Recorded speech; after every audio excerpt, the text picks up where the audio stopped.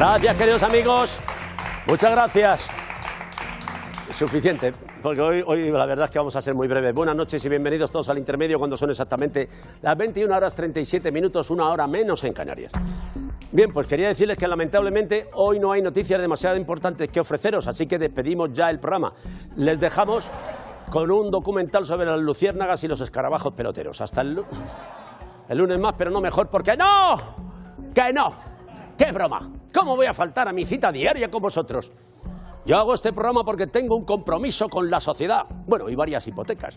Pero muchos os preguntaréis, ¿qué hacemos los medios de comunicación cuando no hay noticias? El asunto es que eso nunca pasa porque en el mundo suceden miles de cosas cada día. Guerras, regímenes que caen, revoluciones. Y si nada de eso ocurre, cruzamos los dedos para que los bomberos alemanes rescaten a una rata gorda de una alcantarilla.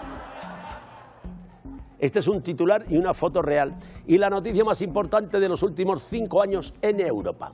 Más que el Brexit, porque es sencillo salir de la Unión si eres Reino Unido, pero prueba a salir de una alcantarilla si eres una rata gorda.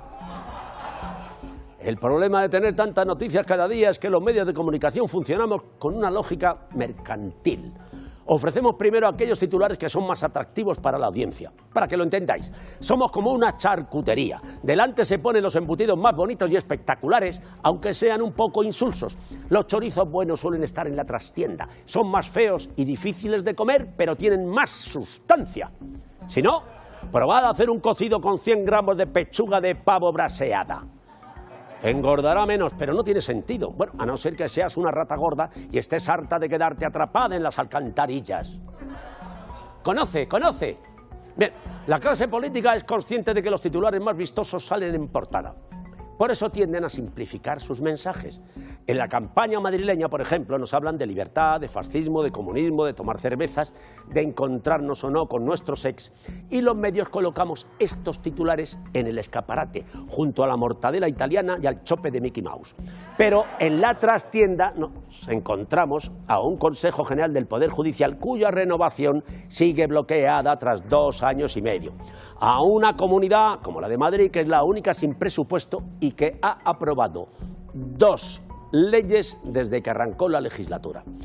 A un informe publicado hoy que revela que una de cada cinco mujeres ha sufrido acoso sexual en el trabajo.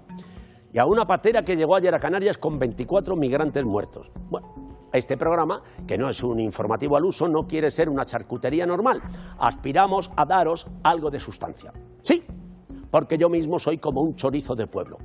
Pesado, la verdad es que me repito un poco, y estoy más rico cuando me pongo picante. Comienza el intermedio.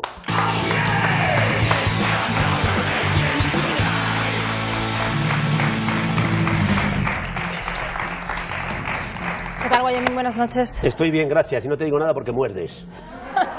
Feliz jueves para ti también. Buenas noches a todos, bienvenidos. Empezamos con los datos.